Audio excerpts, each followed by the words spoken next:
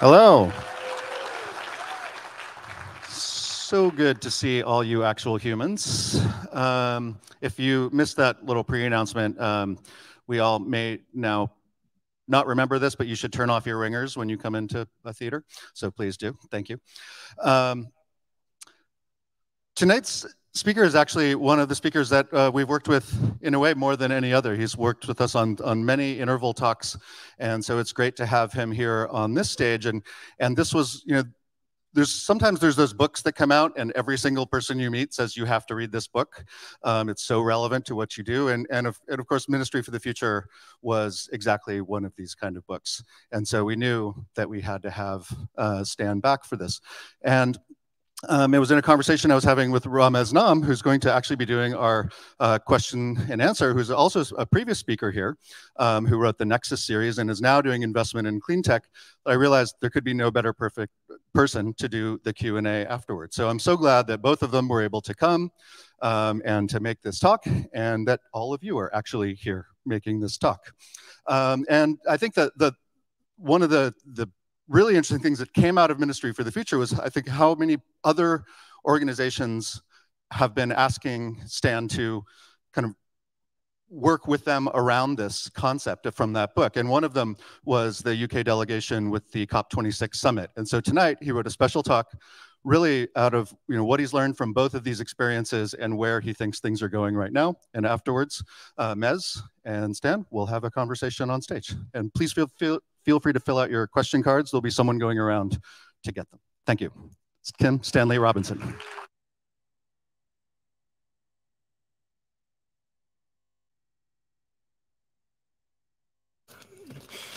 Well, thanks very much for that kind introduction, and uh, appreciate, much appreciated. It's good to be back, and it is good to unexpected joy to see people gathering together like this again. May it, may it all come back. Sweet. Um, I, I want to, before I begin, I want to dedicate this talk to Michael McElligott. Um, many of you knew him better than I did.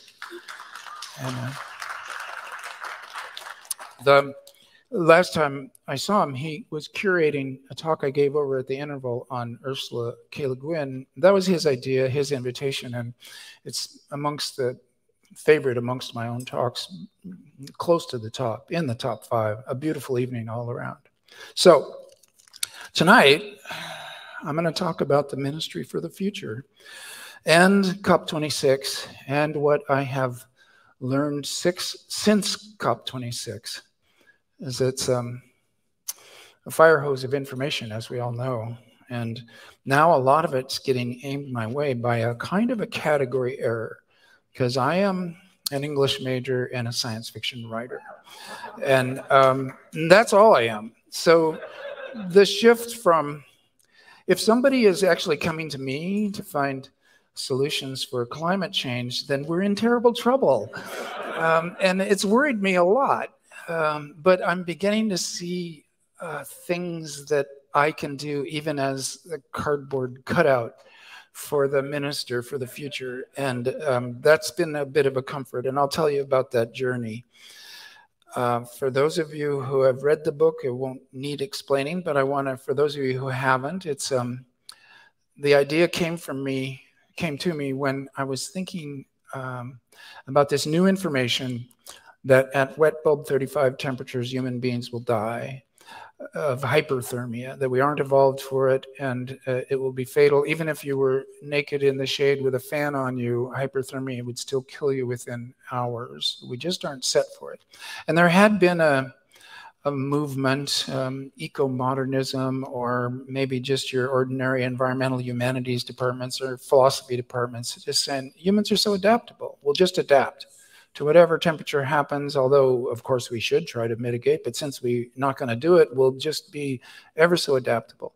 And this was, of course, ignoring all of our cousin species we rely on, but it was also wrong in that vast swaths of the Earth's surface, including one of the highest wet bulb temperatures ever, was outside of Chicago. Um, so vast parts of the Earth's surface could become uninhabitable, and suddenly the 1.5 C uh, limit on temperature rise that had been advised and got uh, taken up as one of the achievements of the Glasgow uh, COP26 was beginning to look like a necessary hard limit that we need to adhere to. One of several planetary boundaries that we are plunging towards uh, in a trajectory that seems to say we're going to be going past them into um, uh, toward a hothouse Earth status, which in the paleological past would mean almost no ice on the planet at all, etc. In which case, we'd be seriously underwater here. Um, I needed to write that, and that's why the first scene of the novel is in India in one of these heat wave events, and it's a shocking experience. I know it was hard to write, it's hard to read, and then after that, a best case scenario. Um, with that kind of a situation that we're in in the 2020s, I wanted to portray 30 years going in, in, into um, a utopian space with utopia defined as this we dodge the mass extinction event because everything else is recoverable. So the bar is quite lowered compared to the perfect society of old. But um, it would be a mighty achievement if we were to indeed to dodge a mass extinction event in the 21st century, given where we are and where we're going. So um, this was the goal in my novel. I wanted it to look and feel messy so that when you were reading it, you could suspend your disbelief in classic Coleridgean style you could um, um, this the willing suspension of disbelief is the uh, the joy of every reader of novels' lives. And I began as a reader before as a writer. That's for sure. You read it, you believe it, and then you come out it afterwards and you evaluate it. So to believe a positive feature from where we are now, I had to include a lot of the bad stuff too. And I notice now looking back at it, a lot of things I didn't notice while I was writing it, which I have to say was about um, six to eight months in 2019, a much darker time than now, I have to add, because it wasn't clear that uh, Trump would not win. And also, the pandemic hadn't happened yet. And so it looked like we were going to slouch mindlessly, sleepwalk off the cliff. Um, and in many ways, the pandemic was a slap in the face that speeded everything up for both uh, ill and for good. So in 2019, I was in a darker space. And so the dark stuff in ministry for the future is quite dark indeed. And I wouldn't want to have anybody take this book to be an instruction manual as to how to behave, uh, given the various murders and shooting planes out of the sky that occur in the course of that particular history. Looking at it later, I saw that for every time something positive happened, there would be a reversal. There were three kinds of death, and there's murder, illness, and accident um, to major characters. There's um, a sense that um, of, of uh, desperate chaos that nobody's in control that um, and everything in other words that is inevitably going to be the case in the 2020s i wanted to represent in that way and yet still show a sequence of events that would get us to a point like 30 years out although now i would say the timeline is completely wrong and that everything that i talked about happening in 30 years needs to happen and will happen in about 10 years, which is a shocking acceleration, but I think it's true. So I had, you know, a, a novel about heat death, heat, heat, heat wave deaths of millions of people, and then how to techno um, you know, political economy, finance. It really sounds quite awful. I mean, doesn't it? As a novel reader, it's like castor oil. It's uh, already I had a reputation for being the castor oil of science fiction literature. You know, it's good for you, but you you're going to have to choke, uh, hold your nose as you as you down this stuff. Um, a novel needs to be fun. And so, like in New York 2140, perhaps they're having a little bit too much fun in a world with sea level rise 50 feet higher. That was a different time and a different kind of a novel, a comedy of coping. I quite love that book. It is more fun. But Ministry for the Future had to have its own fun. And that could be in the play of forms. So it hangs on a regular novel that's maybe novella length. Um, Mary Murphy and Frank May the two central characters, and then their shadow, Badim. These, uh, for a long novel, uh, the ordinary characters in it are just quite few. But onto that, I also hung uh, everything Wikipedia articles, meeting notes. And I had dramatized enough meetings that when I discovered you could just include the notes, this is a marvelous discovery. Uh, nobody had to go through another meeting in a room, uh, which in Green Earth is a, um, a long slog through the DC uh, wilderness. Um, also, it narratives. This was something from the 18th century. It was a little fad when printing and reading came out in England. The it narrative would be the story of a coin, it would go from pocket to pocket, or a violin. Uh, being the 18th century, it would usually go through somebody's digestive tract and get shitted out. And it was all very exciting, except for uh, protagonists without agency. There's a reason the it narrative died very quickly. And um, I discovered that in writing just a couple for this book a carbon atom, the market, that kind of thing, a photon. Um, also, riddles, Anglo Saxon literature, about one third of what remains of Anglo Saxon is, is riddles. And mostly these look to be puns. It's quite funny, the scholars can't tell one riddle from Anglo Saxon, the answer is either a, an angel or a grasshopper and and usually they're double entendres of a sexual nature also. Um, so you can see that the games that were being played around the the fire in the in the barrow houses of the Anglo-Saxon times, I use those. Many other forms, dialogues, radio radio uh, transcripts, and then the eyewitness account. This was the crucial thing. It's one of the things that made this book's impact, in my opinion. It sure did for me as a writer. An eyewitness account is not the same as ordinary novelization. You don't talk, you don't set the scene. You don't talk about eating breakfast. You don't live it. They call it dramatization for a very good reason, as if in your mind you're seeing it staged in real time with all of its details, like drama. Well, an eyewitness account, they're usually interviewing someone 10 to 20 years later. That person is talking about what happened in a propulsive rush of memory and they're judging it, judging themselves and why that why they're being interviewed, what that did in history and what it did to their lives. These, as a modality, the eyewitness account is an awesome thing, and I began to collect collections of them. Um, spring 1945 in Germany, uh, May 1968 in in Paris. These collections are uh, stunning, and some of them, the ancient world, the whole of history. Usually, the bigger the stretch of the history being eyewitness accounted, the the weaker the anthology, but they're all worth looking at. And I might never write anything else again, but a whole bunch of fictionalized eyewitness accounts, because it was like uh, channeling voices in a way that a novelist always wants, but seldom gets. Uh, sit down, be prepped, take a refugee camp or a riot at a train station or or a fishing boat being taken over by pirates from other pirates, uh, a city running out of water, um, like Cape Town, maybe. Um, and these uh, should have been and were five pages or less, and the book is stuffed with them. And that, I think, the sense of world history and multiplicity, the, the, it, it, felt right, and and is probably the, one of the keys to the book, along with uh, the carbon coin, which I'll get to later, and the um, the sense of chaos and disorder that the, all the forms together do. And there's one more thing that I did that I didn't realize till afterwards. I would divide science fiction up temporally. There's um, far future science fiction, which we would call space opera. People are zipping around the galaxy, Star Wars, Star Trek, space opera. People know what it is, and it's a form of fantasy, as I tried to show in my novel Aurora. But it's a great story space. There's no no knock against space opera. Not when Iain Banks and Gene Wolfe have written it um, Ken MacLeod, there's great space opera. It's not normally what I do. In fact, I think I've only tried it once or twice, but it's out there.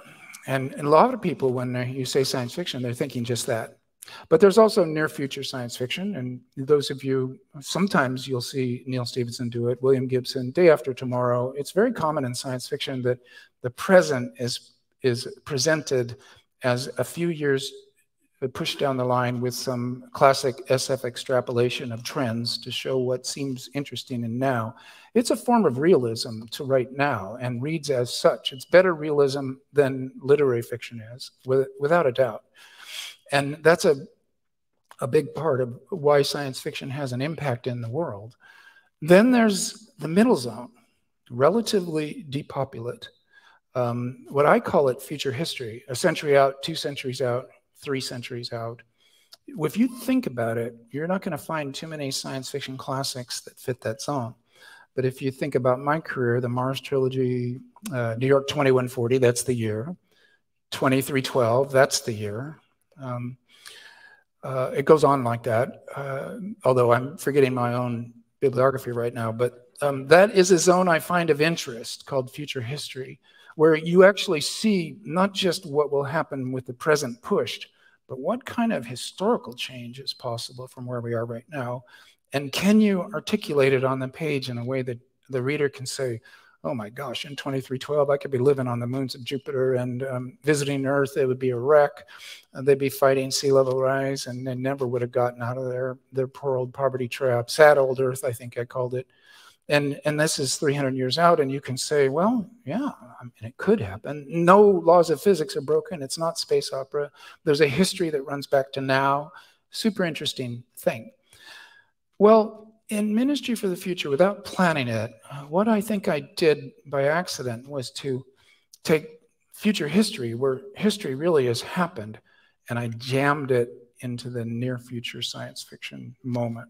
So, stuff that I used to write about happening 200 years from now, I said, look, it's happening in the year 2035, or it's starting right now and will immediately and this, I think, was like putting together, you know, like, let's see what happens when we put together some uranium with a little explosive force. And it blew up in my face, and, and I've been uh, blown up ever since. So I think this is what happened there. So um, it got me it got me invited to COP26, one of many rather astonishing invitations uh, over the last year and a half. I was feeling surprised and then more surprised. And then after a while, I thought, either I'm not surprised anymore or else I'm permanently surprised, which is a great state of consciousness to be in. And we all should be wandering around going, I just can't believe it. This is, a, this, this is amazing eh, because it is. And for me, it has gone from pillar to post and an invitation from, actually, I will tell this story on myself. I was at um, Glasgow inside the Blue Zone my hangout was the UN Futures Lab. When they were my home base, my, my buddies, they took care of me. They gave me a closet to sleep in if I had to take a nap, and they taught me things. Well, there, and it was a tremendous education. And at one point, my, my main host, a, a woman named Coco Warner, who's worked at every one of the COPs for the UN, she said, Stan, who invited you here? And I thought it was her. And I was looking at her going, oh my God, I don't know anything. I don't even know why I'm here. Uh, and I had to investigate. I had to pretend. I looked at her and I said, um, well, the invocation came from Nigel Topping, whose official title was the High Champion for COP26, because the British government likes their titles a lot. The High Champion was his official title, good guy, and he was the one who invited me. And he gave me a red pass, which meant that in the blue zone, I could go anywhere I wanted. And this wasn't true for most people who were observers. You would get a yellow badge and you wouldn't go into the negotiating sessions. That was for people with red or blue, and blue was just the UN itself. So there I was with this red badge, which Nigel Topping had given me. And I decided that the rest of the thing being a kind of a trade show for each nation would buy a pavilion in a giant convention center. And I, I don't know if you all have seen pictures of the Blue Zone in a COP, but it's somewhat like a trade show or a circus or a um, um, it's or a science fiction convention. And anybody who knows science fiction conventions, uh, one of those for two days is not bad. For two weeks, you have got to be kidding me. Um, and yet, so I began to go to negotiating sessions, any kind of negotiating session. And this is very interesting. There were more than 50% women in their 30s and 40s lawyers, diplomats, scientists. They were working a document, they were editing together, they were revising, editing, um, proposing. In th this is one kind of session anyway, document editing um, by a, a, ferociously concentrated, cheerful but meticulous, um, uh, from my point of view, young women and with some elderly Brit diplomats who were staggering around with a limp and a briefcase from Bretton Woods, and it was it was very cute how uh, calm they were compared to um, everybody else there. Um, and I was impressed by that. And then in other negotiating sessions, in in very polite tones of voice, people were arguing over money. And the developed world was holding back their bags of money, and the developing world was saying, You promised it, and we need it. And in polite voices, you were seeing the incredible tight fistedness, the self destructive tight fistedness of all of the developed countries who had promised money in the Paris Agreement and aren't coughing it up. One of the developing nations diplomats said to me, the, the sewage budget for New York City is $35 billion a year, and the developed world has just given us 20 billion when they promised 100 billion, and even 100 billion is uh, not enough, but 20 billion is ridiculous, and that's where they were at. So this was a depressing part of Glasgow for sure. But to see it all happen real time, I began to understand COP is just a place to come and look at each other on an annual basis to see what we're doing in the rest of the world the rest of the year. It is not the place of solving problems. It's, there's no legally binding treaties there, and there's no sheriff nor a jail if you were to break the promises or even to leave the agreement outright. Um, it has some beautiful mechanisms in it. It has an injunction to permanently improve each time they meet. Everybody's supposed to up their promises and make things better. And so it's like a ratchet or a come along. Each year you ratchet up the um, intensity of the promises, but they're promises only. And I began to think it's like a marriage.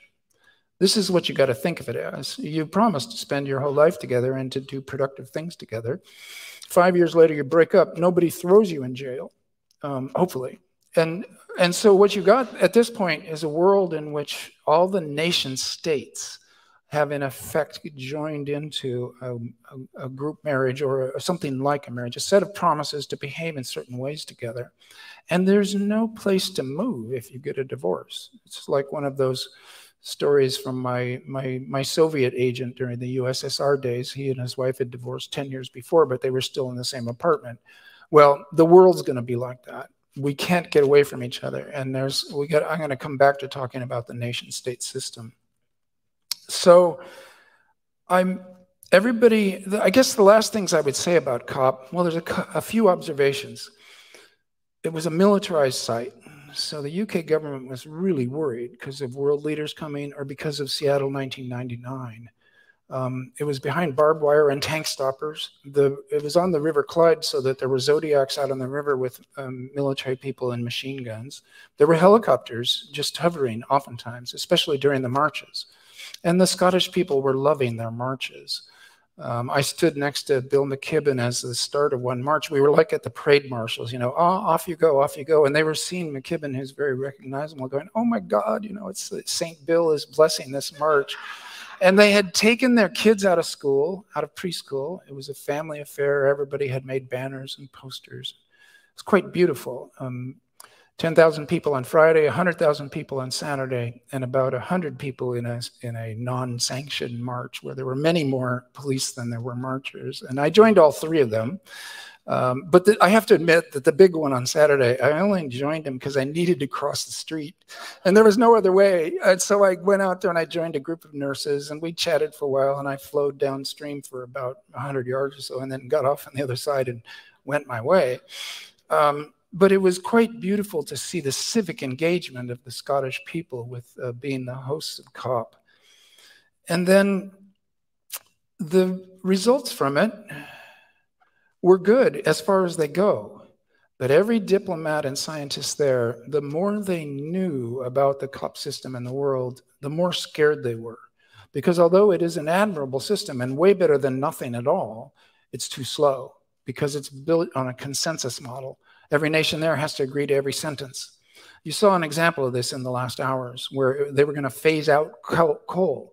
And at the last moment, China and India and several other nations said, um, um, oh gosh, we can't do that. Um, we, we, we, refuse. And they went into a huddle an, overtime, a couple hours of intense lobbying, and they came out, well, we'll phase down coal and then everybody signed off on it. Well, this kind of consensus model, although admirable, it's like the General Assembly without the Security Council. So it's a true uh, international body of nations where you've got, I want to talk about this a bit more later also, from the nation state to the member state, a very important distinction. Um, you've got all the people there, but since they have to all agree to every statement, um, as admirable as it is, it's too slow compared to the crisis. I, I reckoned on the train ride down to London that if we had, this is such a guess, but it's a science fiction exercise. If we had 40 years, COP procedures might work, but we only have 10. So they're not enough. And we're and and we and I left COP thinking we are in terrible trouble. And nothing in the four months since then has made me change my mind on that. We are in terrible trouble. But that doesn't mean what that means also needs to be unpacked. So um, in the months since then, I thought it would slack off. It didn't slack off. And I began to uh, get quite nervous about being helpless to suggest or say anything. But what I began to realize is I could take somebody um, uh, who were, was interested in talking to me about topic X, and I could connect them up with somebody else who was an expert on topic X. And they didn't know about each other because the world is too big. And that's interesting in and of itself that although there's lots of good work being done, not only is there no coordinating force that's making priorities and, and linking things up together and all that, but that's almost impossible in the in the world that we're in who would do that? I'm involved with the un's 50 year forecasting group and the un is doing their damnedest to maybe rate and prioritize. They're overwhelmed. They can't do it. You would have to mm, postulate a, a, ministry for the future that was a really good budget uh, uh, and, uh, and a huge team of people trying to sort and connect and that doesn't really exist. But as my cardboard cutout imitation of a minister, I can now begin to connect people who should know about each other. Just recently, I met the woman who runs California's 30 by 30 program. 30% of California protected land for wild creatures by the year 2030. Amazing idea. And I thought it would never happen in my lifetime. And already they're shooting for 2030. And, and they say, well, after we hit 30 by 30, we're going to shoot for 50 by 50 and then we'll have a healthy biosphere. And California is an exemplary space, as you know, and teaches the rest of the world how to do these things. And the rest of the world teaches California. It's a super promising thing. But she had never met the head of the Pacific Conservation League, which, without this 30 by 30 framework, had nevertheless been working on similar causes for the last uh, 25 years. And I was able to say, oh gosh, you need, you know, you're both in the Sacramento area, need to meet. They've since met. It's a productive meeting. Things will go on. Uh, it's been a pleasure for me. And when I was talking with this Jennifer Norris, head of 30 by 30, what we began to discover together is you need the framework tail, the frame tail, because everybody's individual efforts are going to be too small to matter or to change the world. And you do what you can, and you're thinking, well, I'm I'm swimming again, I'm crossing the Pacific by swimming. I'm in terrible trouble here uh, because it's such a small drop in the bucket or drop in the ocean. But if you see that you're part of a larger story where everybody else is also putting, say, another analogy, a brick in the wall. You work on your brick, you know there's a wall, you'll stick your brick into it. This is a crucial realization for keeping spirits up. Solidarity, mutual aid, and it's funny when you think about this wall analogy. For one thing, I build my walls in Maine out of glacial cobble. It's the worst possible rock to make walls out of. Hilariously bad. And every every spring I go out there with my wife and find my last year's wall has fallen down just from the freeze and thaw cycle um, and gravity. Um, and that's the kind of material we have, right? And also, there's no architect and there's no stonemason. But nevertheless, this is how um, group projects work. Um, everybody knows what needs to be built, and so you just put your brick in the wall and you feel that the concept of the wall is helping. So I think that that's another reason why Ministry for the Future has had people had a hunger for that story. That if everything that is possible to be done gets done, then even the bad stuff won't be able to stop us from getting to a good place. Now, this is a proposition, not a obviously. It's a, it's a science fiction story, a utopian one. When I say that, uh, I don't know if it's true and nobody else knows either. Um, I'm going to come to a close uh, soon, but I want to talk about a few things before I do.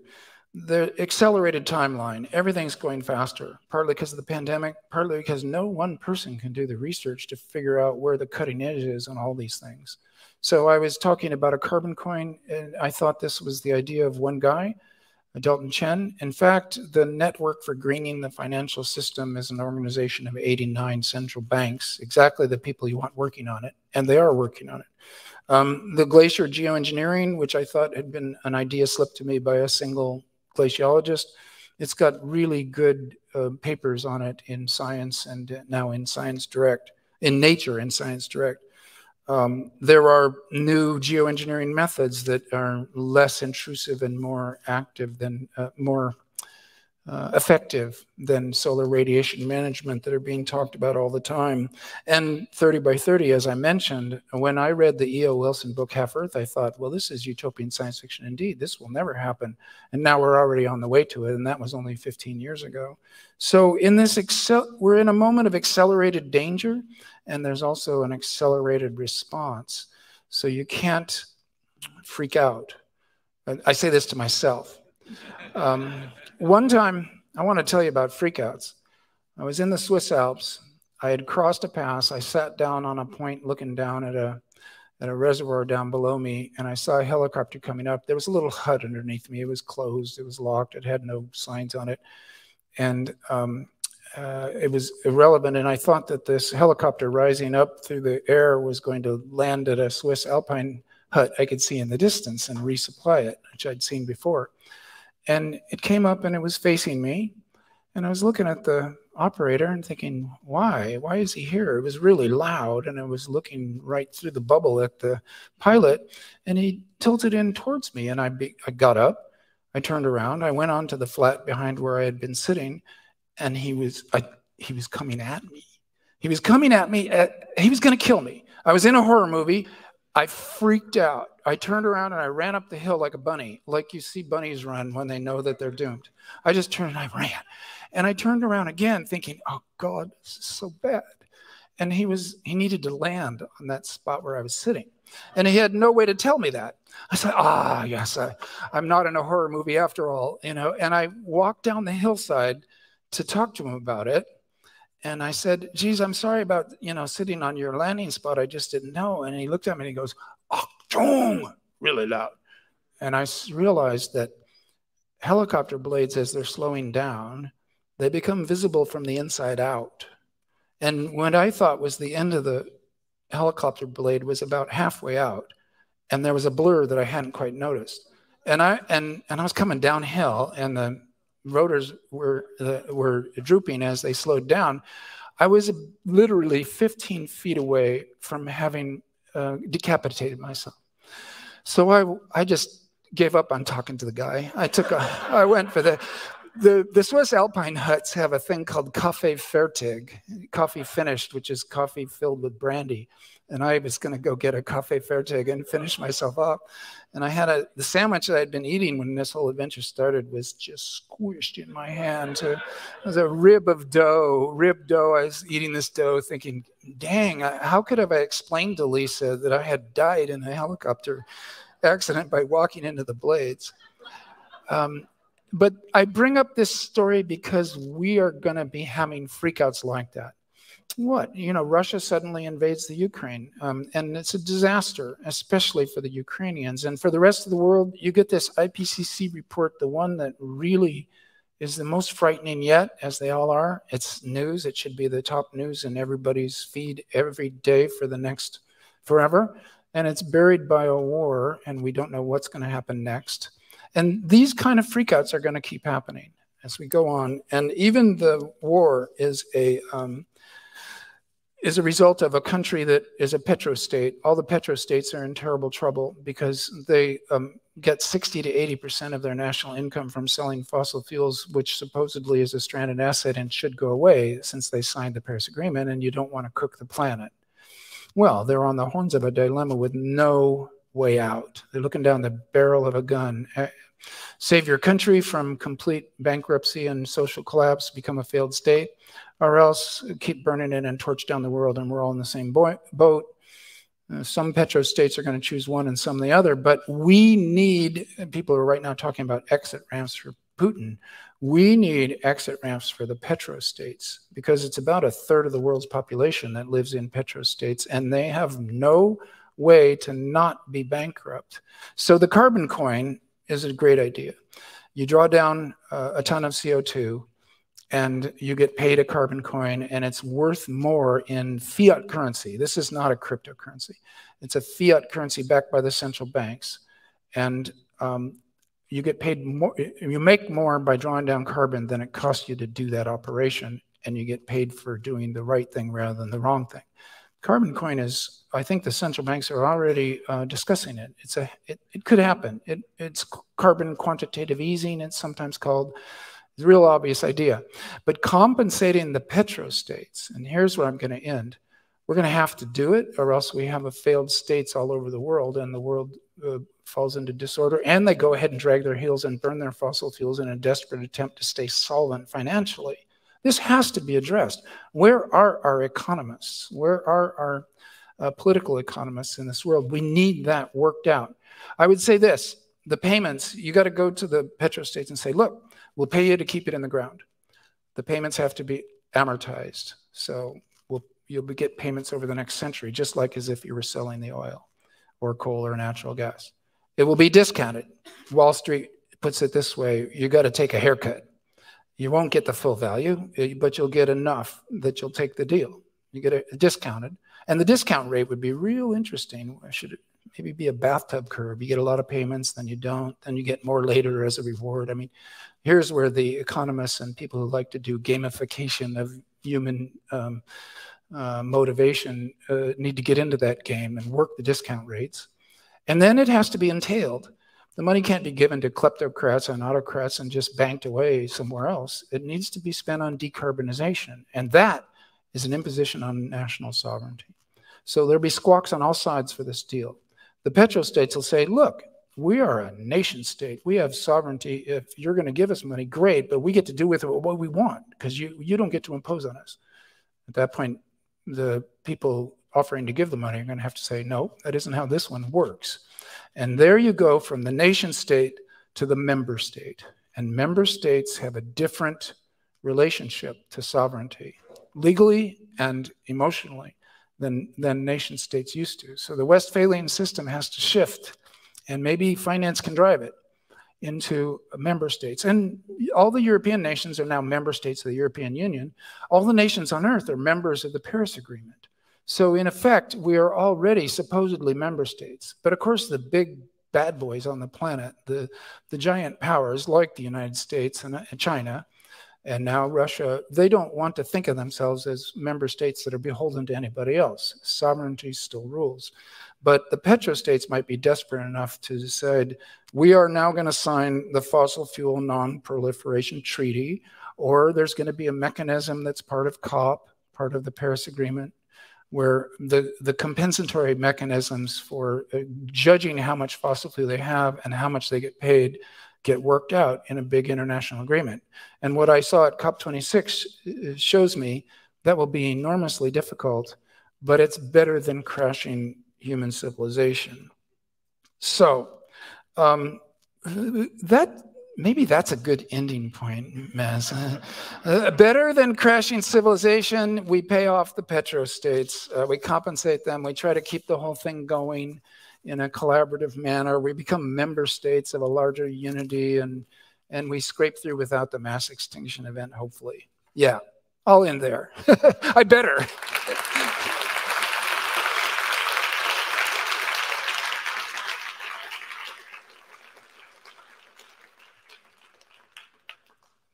Aha.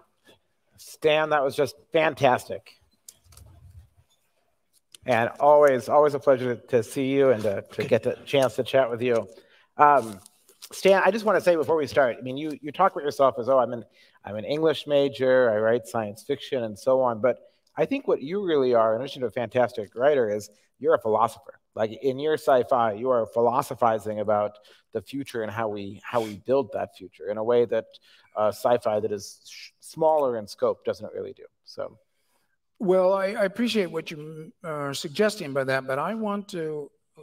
I'm a science fiction patriot. I want to say that this is simply what science fiction should always be doing. So that's the way I would put it. Is uh, this is what science fiction can do. related to that, one of the things that I think is most interesting about you as a science fiction author and also as a climate activist is you see a lot of uh, a lot of climate activism that is very sort of naturalist and is opposed to uh, more aggressive and ambitious interventions.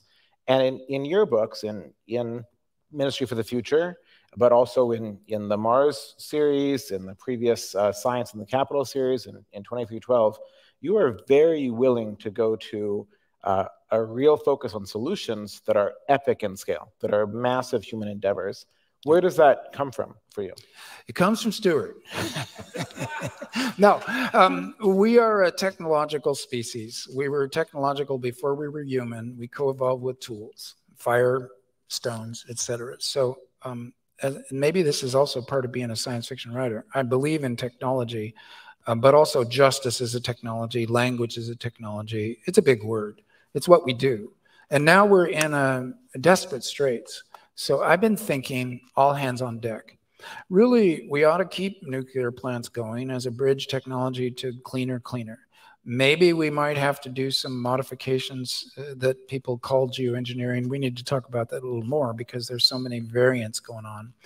But uh, and I'm, you know me. I mean, many of you do. Uh, old hippie leftist, an American green an eco-Marxist American leftist, although Marxist is really the wrong word, and, and eco-leftist, uh, the wobblies over parties, uh, you know my angle.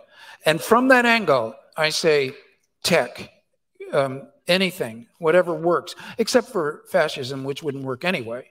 But um, but all of the things that we might try, we have to try, see what works, and and dodge the mass extinction event, and then solve the outstanding problems. Mm-hmm. Fantastic. Well said.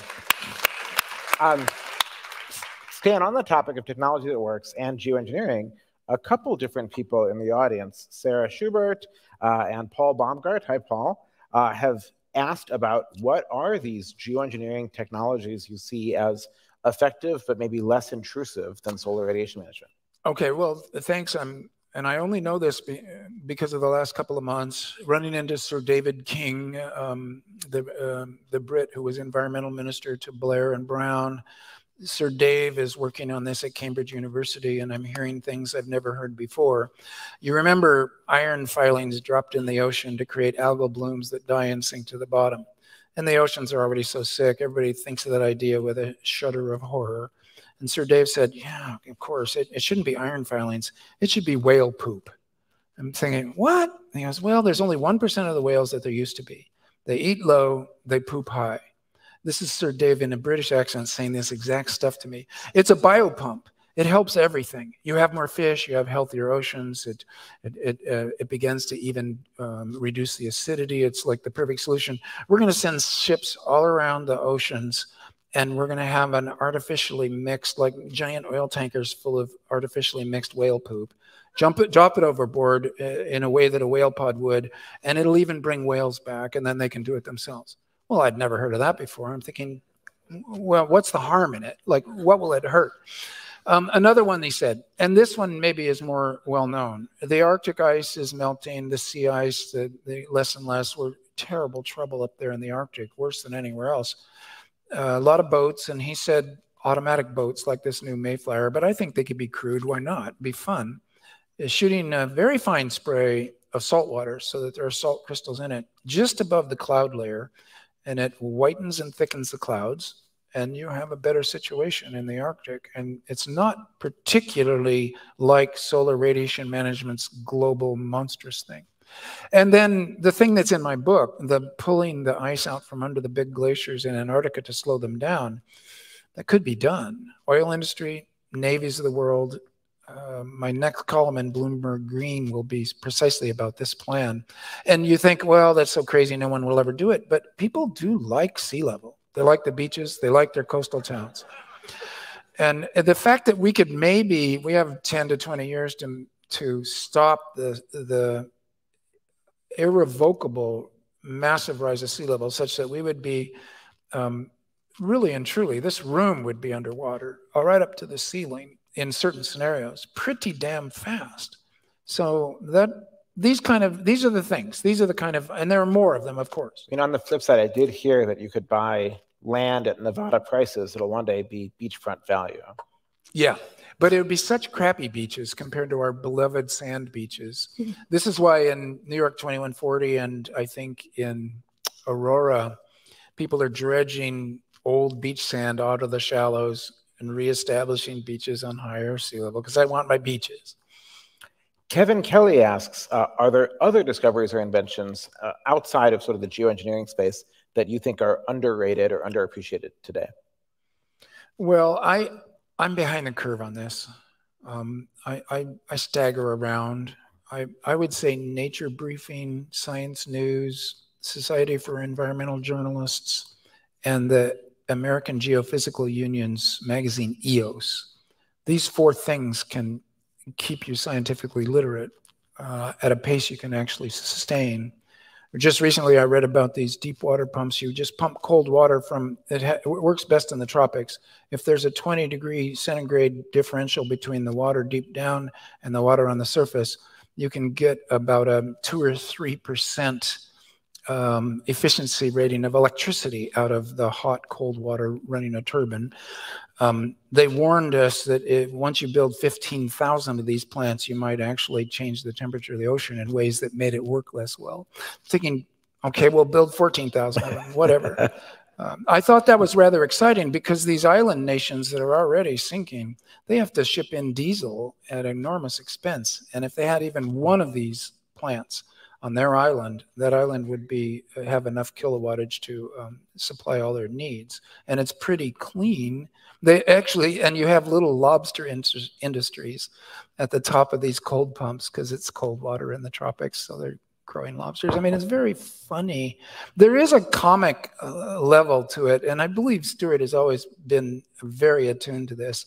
There's a comic aspect to our adjustment to the world technologically, and even though we're under ferocious pressure, and it all could go crash and boom, um, it still has a somewhat to me it's it's like well maybe it's like laurel and hardy or one of these horrible keystone cops things i mean it's funny to see people in desperate danger sometimes it is um, uh, you talk a lot about economics in the book like a lot of the book is really not just carbon coin but other things yeah. one of the things you talk about and uh, a listener called uh, paul has asked a question related to this is the discount rate and how that changes our calculus of investing to, to save the future. And I didn't hear you talk about it in the talk. Do you want to riff on that? Sure. I'll, I'll try to be brief, particularly since we're hitting the uh, the borders of my comprehension. But um, and a lot of you will know more than I do. The discount rate uh, when you're making an economic calculation about how much you should spend in the present to benefit the future, if you if they have the same, uh, since the future goes out forever, if their um, needs are equal to ours, then our we should be spending everything for the people of the future and not for ourselves.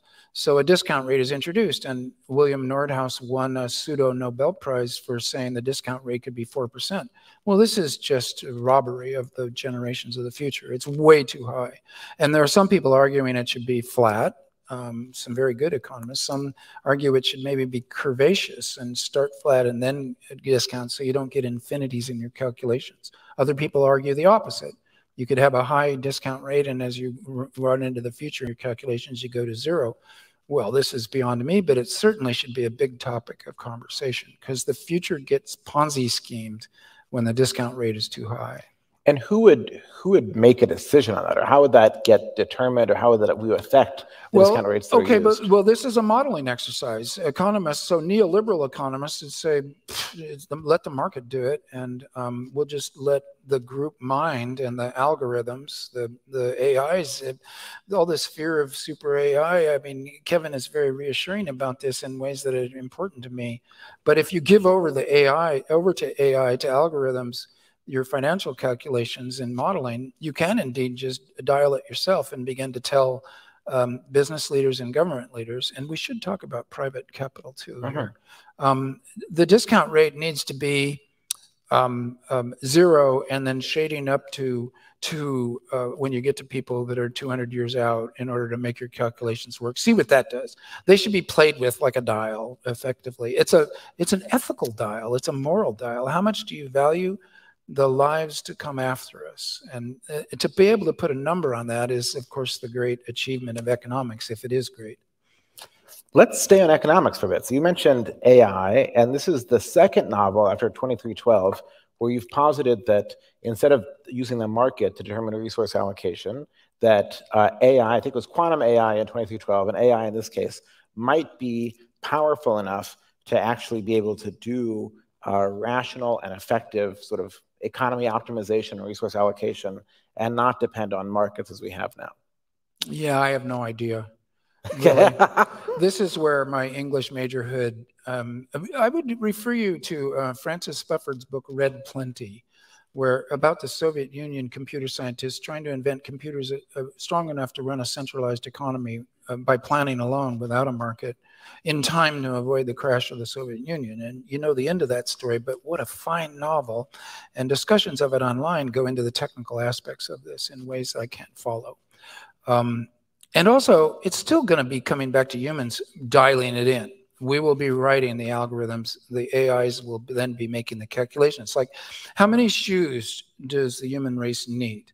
Well, 8 billion times two. You know, it's not that hard. So uh, my feeling is it's still a, a, human calculation ultimately. Fair enough. Uh, you mentioned private capital. So I know that in the audience right now, we have a number of people who are uh, climate entrepreneurs uh, or uh, climate investors or somehow in the private sector related to climate energy. Raise your hands if you're if you're one of those people out here. So we've got a number. I think oh, I many like of you. I know. Yeah. Um, so what's your view? Like you, you're this in talking about sort of your your interesting structure. You have this great passage where you're first person narrative of the market, talking about yeah. like what it's done and how it's eaten everything. Um, what is your view of like the role of private enterprise, private capital, startups, and the market? I I don't like the market. It's a it's an oversimple algorithm. It, we give our decisions over to it and say that they're crowdsourced, but in fact it's predatory.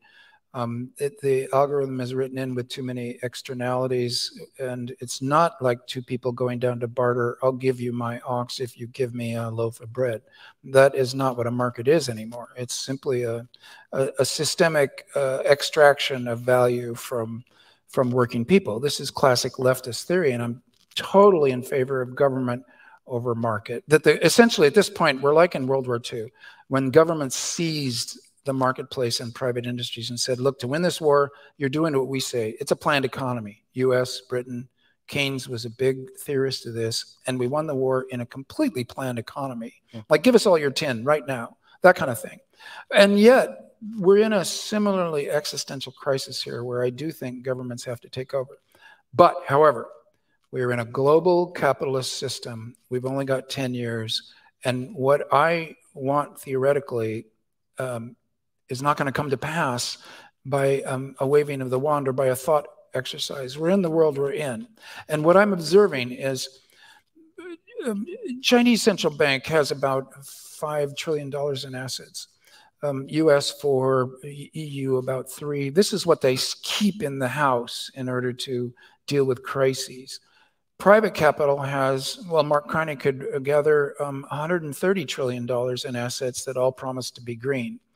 And what I'm saying is that the central banks have printed tons of money in the last couple of quantitative easings that uh, capitalism being what it is in this late monopoly stage the rich have seized it all just because it's a kind of a vacuum is suck that the more money you have the more you can grab out of a system like the one we're in. So all the qe money has not gone to the bottom 50% of the populace but has gone to the top. There's tons of money and people are looking at weird things like maybe i'll buy some bitcoin and then i can sell before it pops that kind of uh, excess cash, lots of, and also lots of earnings of real businesses of things that people really wanted as well. And there's a lot of it, and it's being aggregated into asset managers. So when I wrote New York 2140, it was hedge fund managers. They were after their alpha. They were simply playing the game in order to make lots of money for investors that could afford to be take risks. And if they lost it, it didn't matter because it was just a pocket change to them. So you would try your alpha was how much more percent you got per year than the ordinary rate of of uh, having a savings account or whatever the average was. So that was an ugly game. Michael Lewis exposed that game often, the, the big short, liar's poker. But now it's different. I saw this in Glasgow. There was lots of private capital coming there going, how can we green the world fast enough to avoid catastrophe by investing? And maybe it isn't the highest rate of return, but it's the rightest rate of return. The, the, the, they're going long on the world because when the world crashes, it's bad for business. and so, uh, what I, but there's so much capital that, and there are asset managers now that are dealing with stupendous amounts. I mean, Larry Fink of BlackRock was at Glasgow. In fact, I ate his um, excess pizza. I sat down and I was starving. I said, Can I have this pizza? And my Chinese friend, head of Chinese World Wildlife Fund, said, You sure can. You're eating Larry Fink's leftovers. I was starving. Um, so, but he stands for. There's a metaphor in that. Yeah, there is. the, the science fiction writer is always starving. Um, but I saw it over and over again. I, I, was meeting with groups. Anybody who asked me to come talk, I would try to understand what their angle was and try to encourage them. It was just what I felt my role was. I had 38 engagements in 12 days, and I just talked my brains out. I actually lost my voice, and I had to talk anyway. Uh, very creaky voice by the end. Uh, I forged on, and what I saw were groups that wanted to go green. It was more important to go green than to max your alpha. And this, I think, is maybe a sign of being scared, but also of having the right values at last. So, um, you know, there'll be post capitalism one day, but right now, what we need is green capitalism and government intervention big time. And the two together are both crucially necessary. So, a couple directions to go to that. Um, Robbie Nicholson, who's a climate entrepreneur trying to change banking, uh, asks, what's the most surprising impact that's come out of the ministry? Uh, or maybe what's the most surprising of these invitations that you got at COP? There's a clear winner there. I'm off to do a conference with the Dalai Lama next month. Um, so I would say that one, I thought I was beyond surprise, but um, yeah, that one is the clear winner. Okay. I mean, I'm a Long Now hometown guy. I mean, I love Long Now, but the Dalai Lama has been a big part of my mental life for for um, decades. And he's 87, and he's um, he's the great Gyatso. It's going to be fun. Awesome. And it's and it's in his town, you know, or Dharamsala, the town that the Indian government that Nehru gave him to be an exile in in the in the Himalayan foothills. The rhododendrons will be out, and I know I shouldn't be uh, selfish about this, but um, I never thought I'd see the Himalayas again, even from the foothills or the air. And now I'm going to just to do this one trip. That's amazing and yeah. well deserved.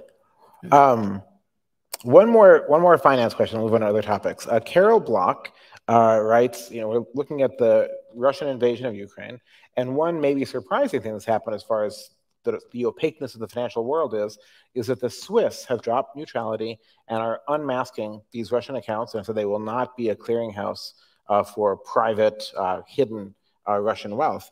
Yeah. does that give you hope about a future of increased transparency that might help in this?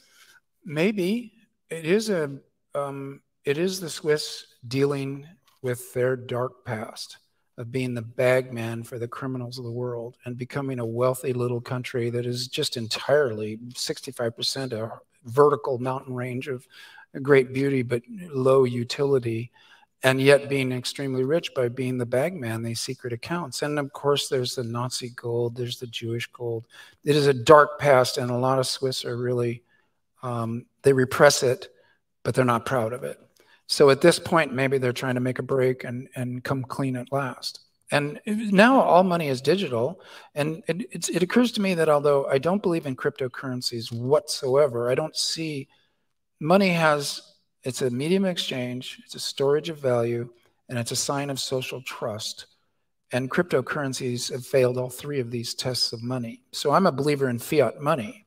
But and the Swiss are they've got a solid uh, part of that, and all money is now digital. I wonder if it could be trackable. You don't need blockchain. Blockchain is peculiar. It could be cryptography, it could be a different system, it might quickly be quantum. And then you would know where money was, you would know if it was legal or in a tax haven. I mean, this gets to be, I am talking about as a statist here. like anarchists or libertarians going, you got to be kidding me. I mean, we need to be able to hide our money. The state will be in control. Right now, I want the states in control. I swear to God. It's the only way we're going to solve climate change. That is not an anarchist project. That is a state project. But it needs to be member states, not sovereign states. So, um, in that larger picture, money is important. You can't um, let money slip away into pockets where bad actors get to continue with it. At least that's my theory. You got to kill tax havens. Actually, taxes are a stupendously interesting and powerful tool hmm. for for doing good things. Fantastic. Um, with the relationship with state actors and other actors, as you said, there's some dark passages in Ministry for the Future, and one of them is climate terrorism. Uh, Sarah Schubert asks, why do you think we haven't seen climate terrorism or violence directed at people that are perceived as as climate criminals? And do you think there's something that will happen in the future that will actually change that? I don't mean to laugh because I'm thinking of the Fermi paradox, you know, like why haven't we heard from aliens? And this is now called the Lanchester paradox from John Lanchester, wonderful British writer, good on money, good novelist. And Lanchester's paradox is why aren't we seeing this stuff? Same question as Sarah's. I don't know. Um, McKibben has been steadfast in saying nothing works except for nonviolent resistance that um, gathers the support of the moderates in the middle and the ordinary citizen when they see people um, in a disciplined way staying nonviolent doing civil resistance it garners their support whereas even one bomb going off or even extinction rebellion lying down and blocking people on their way on their way to work on the freeway you gain more enemies than you gain adherents so um, this rhetoric is the ancient Greek art of persuasion, and it's worth studying a rhetoric handbook because they had it wired, and it's a beautiful thing. It's one of the few things English majors study that is useful and fun. Um, but there is no good rhetoric of actions, like, and this is questions of praxis. What do you do to change power into more healthy directions? And you have Andreas Malm, How to Blow Up a Pipeline. You got Erica Chenoweth, Why Civil Resistance Works. You have McKibben um, pointing to the effectiveness of a kind of Thoreauvian, almost a Christian Martin Luther King, you know, uh, lay down in front of the tanks, take some harm, and everybody's on your side because it isn't fair. Uh, I'm not competent to discuss this argument very well, and the Ministry for the Future is a mess. It is not a book you go to to sort these things out. It doesn't make a good distinction between sabotage and murder, for one thing. And Badim, the guy who's doing things in the black wing of the Ministry for the Future, you have to decide what Badim did in the story by judging what you would authorize if you were Badim.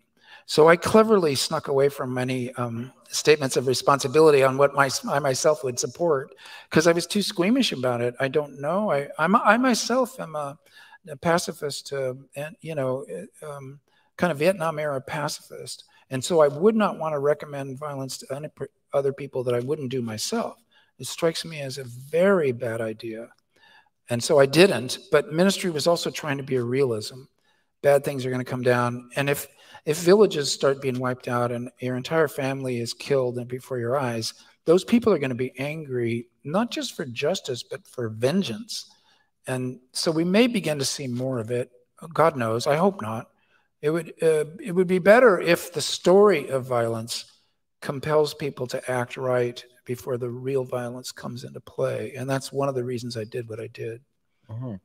Stan, I think something else we saw in the book is other sorts of unilateral actions. Specifically in the book, uh, India takes it upon themselves to engage in solar radiation management, geoengineering. Yeah. Do you think we'll see nations, island nations, anybody, uh, engaging not only in solar radiation management, but in unilateral pro climate sorts of activities? Well, we certainly would have no moral basis to object to it if they did. There isn't an international regime right now. They would not be breaking any laws. In, in my novel, someone objects to the Indian minister on the phone. I think my Mary Murphy. Well, that breaks the Paris Agreement. Why did I write that? It, it's not written up in the Paris Agreement that you can't do um, solar radiation management. I, it, I, it was just an unforced error, as far as I'm concerned. And I would revise it. I might even revise it going forward, but it almost doesn't matter. um, maybe it implies that there was a, a treaty passed, don't do this on your own. Um, international governance, people are working on that right now, very hard. A, a, a, method of deciding if whether or not to do solar radiation management as being global and maybe messing with the monsoon. If India decided to do it because they were suffering, the rest of the world would just have to say, you know, um, okay, you did it. There was there would be no sanctions, and there would be no moral right to sanction them. It, it is important to add to solar radiation management, although we base it on Pinatubo and uh, sulfur dioxide, which would work. Sulfur dioxide uh, burns up the ozone layer and is bad in quantities. So you would need it to be limestone dust. And um, limestone dust is already up there. It has similar effect. It's inert and drops back down to the ground in the way that normal dust does. And there wouldn't be a termination shock. If you did it once, it would be like Pinatubo. For five years, it had lower temperatures. The dust would come to the ground. You could figure out whether you wanted to do it again as an emergency major if people were being cooked alive. So even geoengineering, uh, well, I think this is my role as a science fiction writer. Every, um, I'm the man from Mars. Everything should be on the table, um, including things like this that uh, ordinary American liberal leftists would say, oh my God, you can't do that. But why? In yeah. 1990, there might have been a moral hazard. Now it's all hands on deck, and it might be break glass for emergency usage, drop temperatures for five years, see what happens. I mean, I really think that's a possibility. I'm with you. Um, on that note, Stewart Brand asked, what do you think of Neal Stephenson's termination shock? Oh, I, I, I, haven't read it. Neal and I, we we are. It's this is maybe um, the doppelganger, the narcissism of small differences. We don't read each other. They would be a freak out. It'd be a total freak out. Um, I I very much like Neal personally, um, and I've seen him um, entrance a table of NASA scientists with his um, his um, uh, spinning table takeoff device. And he's uh, what pages of him I have read from Diamond Age or Cryptonomicon, a few pages here or there, just to see what he's like. He's very funny. I'm I'm envious. Uh, it's hard to write comedy, and he seems to be good at it. But I don't know. Um, from what I've heard about termination shock, it's like, come on, Neal, we got a serious problem here.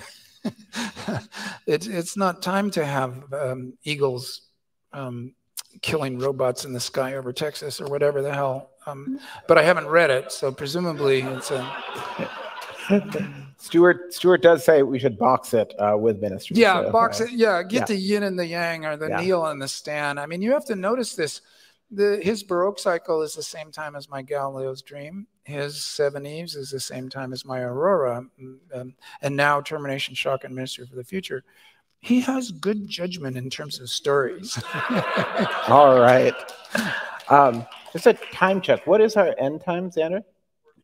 Wrapping it up. So let's, let's ask a couple questions about sci-fi itself about and writing. So Kevin asks, uh, what would you write differently now? Any of your books you'd go back and change? Oh well, a couple I would I would disappear entirely.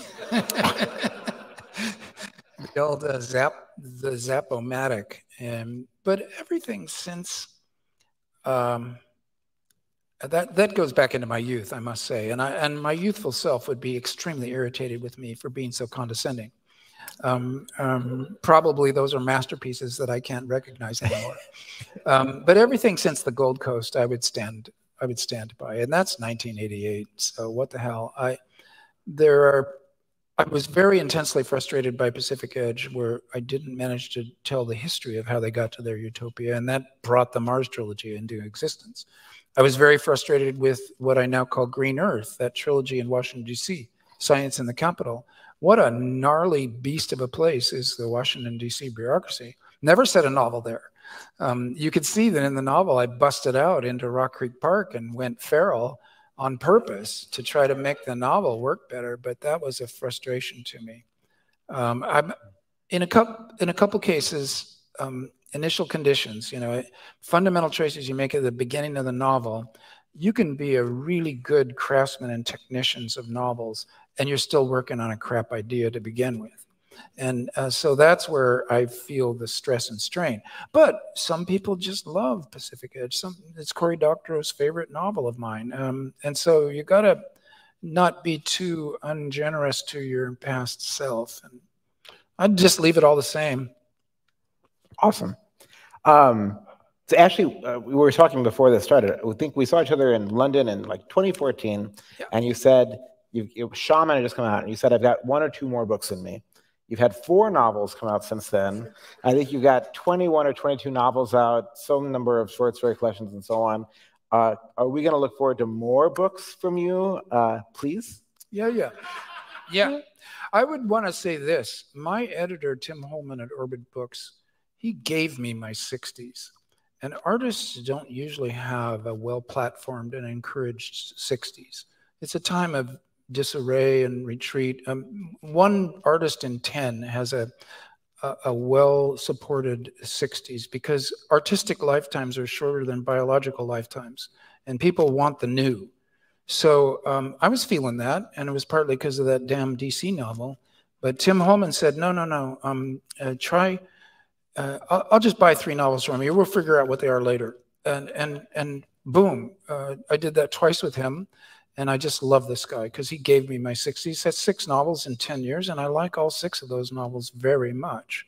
Um, because of that sense of, of, security, whilst I knew what I was doing and my kids were growing up, I could just work every day. And I worked every day for 10 years.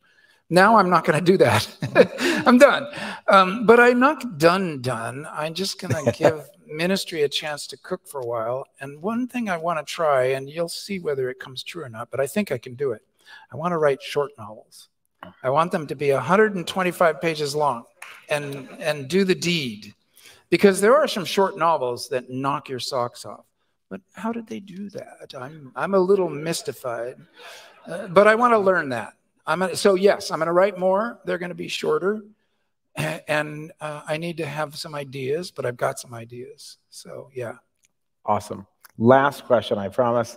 Uh, what gives you the most hope for the future? Oh, God.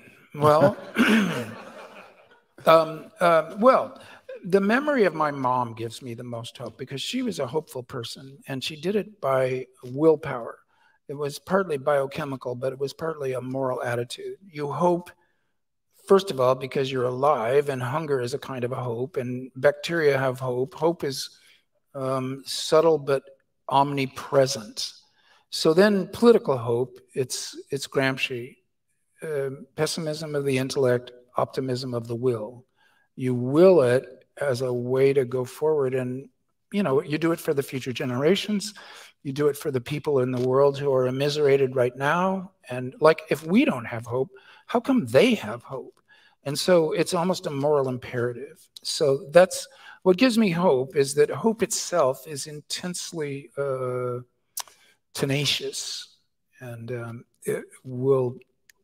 We're going to have to suffer some amazing uh, defeats, reversals, confusions, violences. It's going to be an unholy mess. The 2020s. I guess I'll end with this. Is it weird? The, the, are the 2020s really a critical decade in all human history and Earth on life on Earth history? That strikes me as suspicious. The, the principle of mediocrity would say, we're not that special. There's something going on here. We're just worried or, or we're self important. But then when you look at everything, you're thinking, well, you don't want a sixth, uh, sixth grade mass extinction in Earth's history. That would be big. That would be hard on us. Um, maybe this is an important decade. So you have to be hopeful in order to squeak through this important decade. The will to hope. Yeah, it's awesome. a willed experience. Fantastic. I like that better than the will to power. So everybody, Stan Robinson.